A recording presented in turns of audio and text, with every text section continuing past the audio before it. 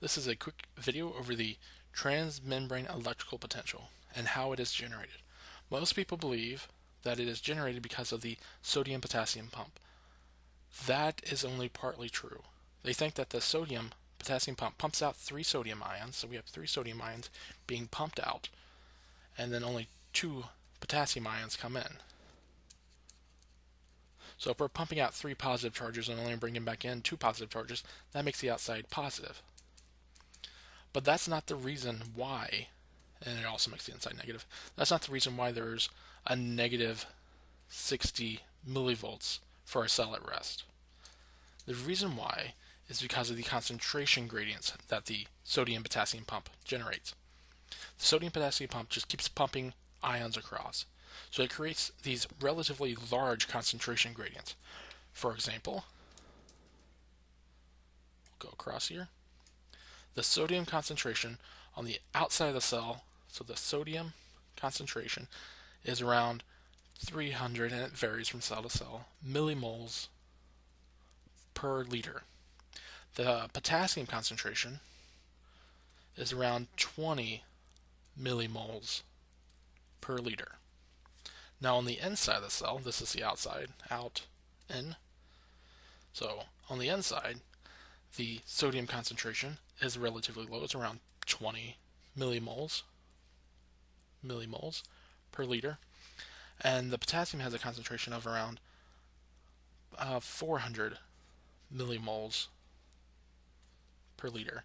And this, again, these numbers vary from species to species, but if a cell is alive, if it is alive, it will have a higher concentration of sodium on the outside than potassium than on the inside, and potassium will have a higher concentration on the inside than on the outside if the cell's alive. If it doesn't, it is most likely dead. So how do these voltages actually occur? Well, it's actually due to diffusional forces working against electrical forces. So we know things want to go from a high concentration to a low concentration. So the potassium ions are wanting to go through the potassium channel and go out. And the sodium ions want to go through the sodium channel and come in because of their concentration gradients. So let's just, for right now, let's assume that the sodium channel is completely shut. It is closed, doesn't work, completely shut down. Now that leaves the potassium channel open, so potassium is just now start diffusing through. Remember, potassium channel only lets potassium through.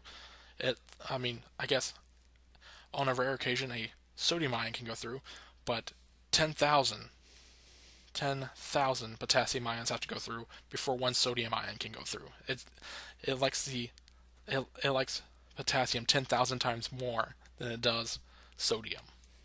But anyway, so as the potassium ions go through, they create a slight positive charge. So there becomes a positive charge across the membrane. And then there comes a point where this side becomes so positive that the potassium doesn't want to cross the membrane anymore, where the electrical gradient is pushing on, is pushing against the chemical gradient. They're equal. So the, I mean, the sodium it wants to get out of this high concentration gradient, but it doesn't want to be in this positive area. So that's when they're equal. There's actually ways to measure these gradients, and they're called Gibbs free energy. And when Gibbs free energy is positive, Gibbs free energy is positive, that means it wants to leave the cell. Leave cell. When Gibbs free energy is negative, it wants to enter the cell. So into the cell. when it's zero, Gibbs free energy is equal to zero, it doesn't want to do anything. It wants to stay put. Stay put. So how do we actually calculate these values? Well, let's calculate the Gibbs free energy. Gibbs free energy for potassium concentration gradient. And it is equal to R, the ideal gas constant, times the temperature times the natural log of the concentration on the inside of potassium, on the inside of the cell of potassium, and outside of the cell of potassium. And for us, in our system, for a cell that's alive, this is a positive value. So that's positive. Now let's calculate the Gibbs free energy for the electrical gradient of potassium. It is equal to the charge of the ion times, so for potassium and sodium it's a positive 1, times Faraday's constant, times the voltage across the membrane. So the total the total Gibbs free energy of potassium of potassium is equal to its Gibbs free energy because of due to the concentration gradient plus Gibbs free energy due to the electrical gradient. If this is positive, then this must be negative for this total thing to equal zero. And remember, voltage is read from the inside out. If it's positive on the outside, that means it has a negative voltage. Negative on the outside, it has a positive voltage. So right now, right now it's positive on the outside, so there's a negative voltage. So what's the voltage required for the potassium ions not to want to cross the cell anymore? So that's when Gibbs free energy is equal to zero. What voltage is that? So what's this voltage? And it's and I believe it is the voltage is approximately a negative 98 millivolts. So the the voltage across the membrane, which is highly positive on the outside and negative on the inside,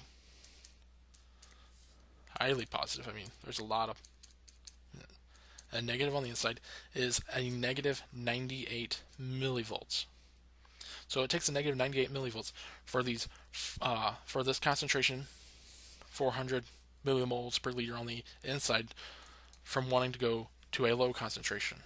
So that's the voltage required to keep it from wanting to diffuse across the membrane to a low concentration. But I said cells had a a cells at rest had a voltage of about negative 60 millivolts. Why is it not negative 98? Well, that's because the sodium channel is leaky. Another way of thinking it, thinking of that is is that this channel actually shuts off. Like there's parts in it that can actually read the voltage across the membrane, it shuts off. But there's also some sodium channels that open up just a little and a few sodium ions can cross. So for let's say if we had a hundred sodium channels, a hundred sodium channels open, open, there would be five, or I mean, a hundred potassium channels open. Potassium channels open. There would be five sodium channels open. Open. And so that that so that kind of levels out around a negative 68 millivolts because when sodium goes from its concentration gradient or goes with its concentration gradient because it's going from a high concentration gradient to a low concentration gradient, it decreases the voltage on the outside of the cell. So before it was positive. So as sodium ions go from the outside to the inside, they begin to take positive charges and bring them to the inside. So that makes the outside a little bit makes the outside negative and the inside positive. And I will continue on in the next video. So I want to continue on talking about the sodium and potassium channels. I just did a video that's prior to this. Should have a part 1 somewhere on the screen. Click on that if you haven't seen that part. So what happens when the sodium channel is open and the potassium channel is closed? So this is closed and it's no longer running. Sodium's going to go from its high concentration to a low concentration. So it's going with its concentration gradient. So it's going down its concentration gradient. And as it goes down, it takes a positive charge. This is sodium's a positively charged ion and it brings it down to this lower part. So that makes this lower part positive and this upper part negative.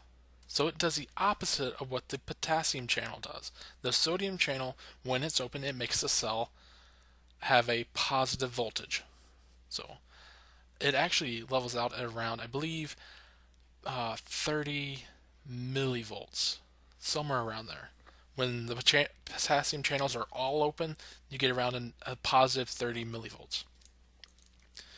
So right here, it's the same concept, except it's a little bit different.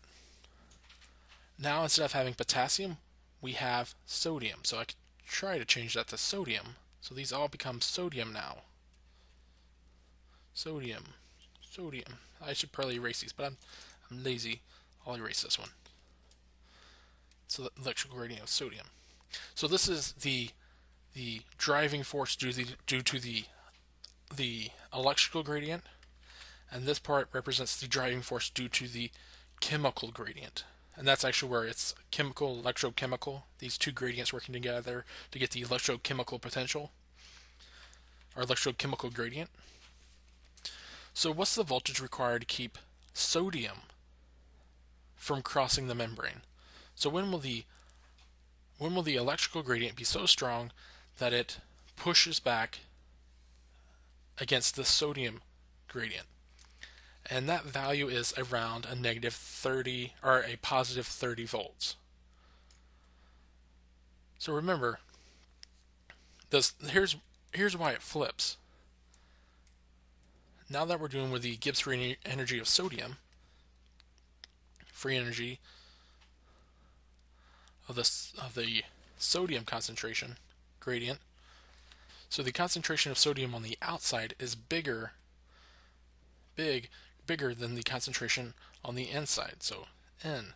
And this is a logarithmic function, so this would actually become a negative value, so that's no longer positive. This becomes negative. So the only way for there to be some type of equilibrium between the between the concentration gradient and electrical gradient is for the electrical gradient to flip and become positive. So now the electrical gradient for sodium must be a positive voltage. So that's also, since sodium and potassium share the same type of charge, they're both positive one charges, the that's equal to the potassium gradient. So, uh, so we could actually think of it as just an electrical gradient overall instead of just saying this is the electrical gradient for sodium, this is the electrical gradient for potassium. The only difference where it really starts changing is when you start dealing with ions that have two charges or just a negative charge. Where say, let's say we're dealing with chloride, chloride, this would become a negative one. So then we'd be we'll be dealing with something a little bit different. So what's the voltage? So the voltage required to keep the to keep the sodium ions, which are in a high concentration, from diffusing to a low concentration, is 30 millivolts. Or it's actually a little higher than that. This is the cell when the sodium channels are all open are at 30 millivolts. So the, the actual value is a little bigger. And we could actually calculate what the actual voltage required for the sodium would be if we found this value and this value. And we could actually get the electrical gradient if all the sodium channels were open continuously. We could get the electrical gradient required to push them back. But again, they, the sodium channels close really quickly, so you only get around 30 millivolts. So 30 millivolts.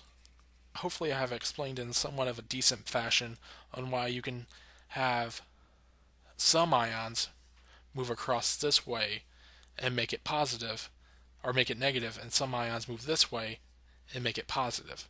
So it's due to these concentration gradients, due to the sodium potassium pump. If we didn't have these pump, we didn't have the sodium potassium pump, we would not have these concentration gradients. Even though the sodium potassium pump generates a little bit of a voltage across the membrane, it's very small in comparison to these channels opening up and allowing these ions just to fly through. And remember, all right, I may have not even told you, the amount of ions going through these channels is relatively small. Like the number of ions are small in comparison to the total number that are inside and outside of the cells. I mean, so uh, let's say we had the we had the sodium channel open. It'll be open for a little bit, and it would cause that negative. It would cause the voltage to drop to or increase to 30 millivolts. The number of these ions, as the way I've the way I've drawn them, you probably only need three for that. Now you need more, but I mean like you wouldn't it wouldn't change the concentration of sodium on the outside of the cell or on the inside very much at all. The concentrations stay stable. So they're always around I believe have it over here. Yeah, they're always around these values.